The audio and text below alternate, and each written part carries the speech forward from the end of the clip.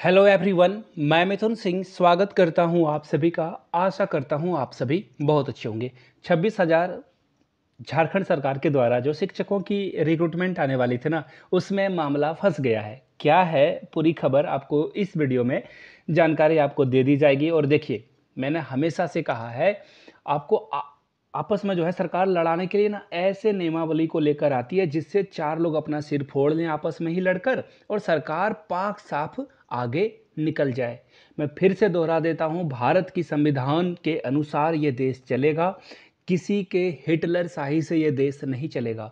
बाबा साहब भीमराव अंबेडकर ने जो संविधान लिखा है, उसी के अनुरूप ये देश चलेगा। कुछ लोग नीचे कमेंट करके बताते हैं, मनुवादी लोग भी जो है, बाबा साहब का नाम ले रहे हैं। अरे भैया तो तुम्हें क्या प्रॉब्लम आ गई?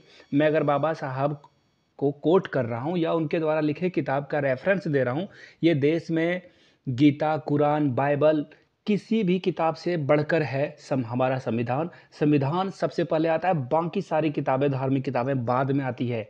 ये मैं बार बार कह रहा हूँ। नीचे कुछ जाहिल लोगों ने कमेंट करके कुछ माहौल को गंदा करने की कोशिश करी थी पिछली वीडियो में, इसलिए मैं साफ़ साफ़ कर देता हूँ, मेरे लिए देश पहले है, धर्म बाद में, और संविधान पहले है, उसके बाद मेरी धार्मिक आइडेंटिटीज़ चलिए, आपकी जो भी राय है, नीचे कमेंट करके आप लिखिए, भारत में फ्रीडम ऑफ़ स्पीच है अपनी, बात को रहने, यानी कि अभिव्यक्ति की स्वतंत्रता है तो नीचे कमेंट करके बताइएगा। तो फ़िलहाल, जेटेट 2016 वाले को भी लाभ मिलेगा और नया जेटेट एग्ज़ाम भी होगा। कैसे इस पर मैं बात करूँगा, आपको पता ही है कि 20 जून को हाई कोर्ट में जेटेट को लेकर जो है, नए जेटेट को लेकर जो है, सरकार से सवाल पूछे गए थे और इसके जवाब में सरकार ने क्या कहा और मामला कहाँ फंसा है, इसके बारे में हम लोग बात करेंगे। सबसे पहले ये देख लो, आपको न्यूज़पेपर की कटिंग दिखी होगी और आप लोगों ने पढ़ लिया होगा कि छब्बीस हज़ार एक शिक्षक नियुक्ति के प्रस्ताव में नियमावली की अनदेखी, यानी कि नियमावली का मतलब होता है सरकार ने जो रूल बनाया है, उसे ये फॉलो नहीं कर रहे हैं। देखिए,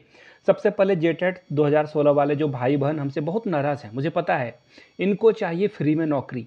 एक्चुअली फ्री वीज जो है ये फ्री की रबड़ी जो होती है ना, ये खाना चाहते हैं, ये चटकारना चाहते हैं। इनका कहना है कि भैया, एक लाख जो जेटेट प्रशिक्षित अभ्यर्थी है ना, उसी में से छब्बीस हज़ार को बहाली दे दो। तो आप समझ के देखो कि चार लोग एग्ज़ाम में बैठेंगे, एक को नौकरी मिल जाएगी। मुझे बत एक लोगों से भी ज़्यादा को नौकरी मिल जाएगी, छब्बीस हज़ार की भर्ती आ रही है। और एक लाख भी पद जो है, ये जो एक लाख जेटेट वाले हैं, कई लोगों का हाई स्कूल में जॉब हो गया है, कई लोगों का के B S N B S अलग अलग जगहों पे दरोगा में जॉब लग गई है तो ये लोग ना टीचर की नौकरी नहीं करने वाले हैं। तो ऐसे में, अब बताओ, ये कंपटीशन आपने कभी भी कहीं देखा है क्या? चार लोगों में से एक की नौकरी हो जाएगी? तो जेटेट वाले सुन लो कान खोर कर जिन्होंने जेटेट पास कर रखा है, दम है भैया, आके लड़ लो, नौकरी ले लो। फ्री की, खैरात की भीख मांगने की आदत मत रखो। और कमेंट सेक्शन में आकर अगर कुछ भी बखेड़ा किया ना तो करारा जवाब दिया जाएगा, याद रखना। और आप लोगों से भी अनुरोध है कि जो ऐसी बाहियात कमेंट करते हैं, उनको करारा जवाब दीजिए आप। देखिए, हुआ क्या है, मैं आपको फ़ायदा भी बता देता हूँ, जो जो जेटेट सोलह पास वाले हैं, उनके लिए। देखिए क्या होगा, सबसे पहले आप देख लो, ये छब्बीस हज़ार आपके लिए नहीं है भैया। याद रखना, बारह हज़ार आठ सौ उनहत्तर, यानी कि लगभग लगभग तेरह हज़ार पद पारा टीचरों को मिल जाएगा, जो कि आपसे कम पढ़े लिखे होंगे। हाँ वो भले नौकरी कर रहे हैं, आपको पता है कितने पारा शिक्षकों ने फर्जी सर्टिफिकेट बनाकर जॉब ली है। मुझे पता है, अच्छे पारा टीचर भी हैं हमारे राज्य में, लेकिन बहुत सारे बाहियात टीचर भी हैं, उनके लिए तेरह हज़ार सीट क्या हो गई? सिक्योर हो गई। उसमें से आप जो है एक भी सीट के लिए मारा मारी नहीं कर सकते हो। अब बचे हुए तेरह हज़ार कुछ पदों के लिए आप जो है मारा मारी करोगे कंपटीशन रैट रेस जो रहेगा वो तेरह हज़ार कुछ पदों के लिए आप कर सकते हो। अब देखिए, ये तो जेटेट सोलह वाले के लिए एक बुरी खबर हो गई। जेटेट सोलह वाले के लिए देखिए, अच्छी खबर क्यों है ना? यहाँ पे आप देखोगे, आपको समझ में आ जाएगी सारी बातें। नियमावली में कह दिया गया कि संविदा पे जो भी काम कर रहे हैं, यानी कि जो कॉन्ट्रेक्चुअल है पारा टीचर है, उनके लिए रिजर्वेशन नहीं रखा जा सकता है इस तरह से कंपटीशन में। यहाँ से देख लो। यहाँ पे मैं आपको दिखा देता हूँ। वेट ए मिनट यहाँ से देख लो आप। नियमावली में संविदा कर्मियों को आरक्षण देने का प्रावधान नहीं है, लेकिन जो सरकार ने अधियाचना भेजी है जॉब के लिए, उसमें कहा कि भैया पारा टीचर को रिजर्वेशन दे दो। तो ऐसे में नुकसान किसका हो रहा है? जेटेट सोलह वाले का नहीं हो रहा है क्या? मैं पूछता हूँ आपसे, आपका नुकसान हो रहा है या नहीं हो रहा है? और जिनको जेटेट की परीक्षा नहीं देने का मौका मिला है पिछले सात आठ सालों में, वो कहाँ जाएँगे?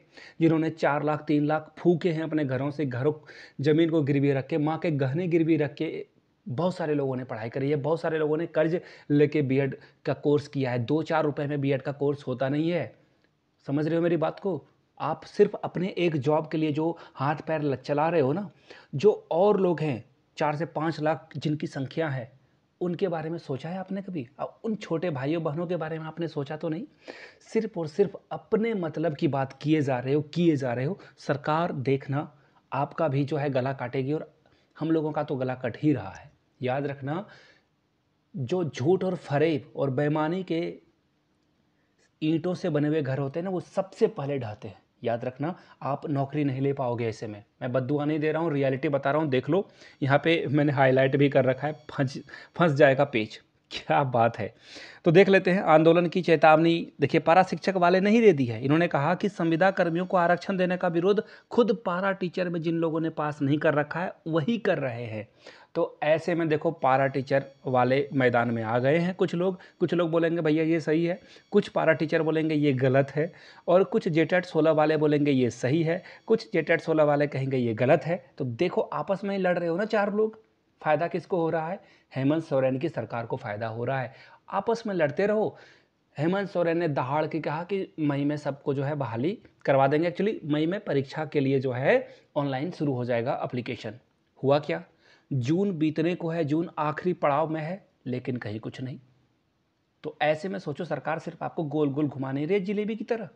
अब देखिए, जेटेट सोलह के बाद नए जेटेट के बारे में बात करते हैं। देखिए, हाई कोर्ट में मसला चल रहा है और हाई कोर्ट अब जो है ना, अगले बार हियरिंग में अगर सरकार ने टाल मटोल करने की कोशिश करी, जवाब देने में देर करी तो सरकार को फटकार लगेगा और सरकार को कहा जाएगा कि नियुक्ति से पहले जेटेट की परीक्षा आपको लेनी ही होगी, क्योंकि एनसीईटी के प्रावधान के अनुसार हर साल आपको कम से कम एक जेटेट की परीक्षा लेनी होती है।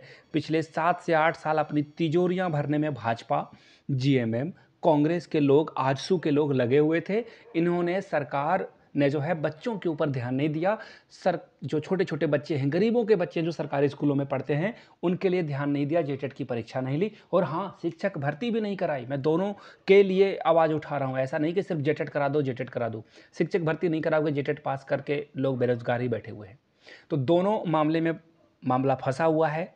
बहुत लोग ओवर एज भी हो रहे हैं। तो ऐसे में अगर आपको नियुक्ति लेनी है तो सबसे पहले सारे लोगों का फॉर्म भरा दो जिन्होंने B Ed D El Ed करके रखा है। उनसे फॉर्म भरवा लो, बाद में आप जेटेट की परीक्षा करवा लो, या फिर जेटेट की परीक्षा पहले ले लो और एक बार में ही पचास हज़ार पद के लिए जो है आप भर्ती निकाल दो। ऐसा ये करेंगे नहीं ना। एक्चुअली अगर सारी चीज़ें सीधी सीधी हो जाए, जगन्नाथ महतो, कहते मर गए। देखिए, बीते जो गुजर गए हैं ना, उनके बारे में बुरा नहीं कहते, लेकिन जगन्नाथ महतो ने इतना तेल निकाला है ना जेटेट का। कि जेटेट नहीं लेंगे भैया, जो पहले से पास है उन्हीं को करेंगे, उन्हीं को करेंगे। ये कहते कहते भगवान ने कहा कि भैया, तुम जेटेट मत लेना, तुम्हें आ जाओ।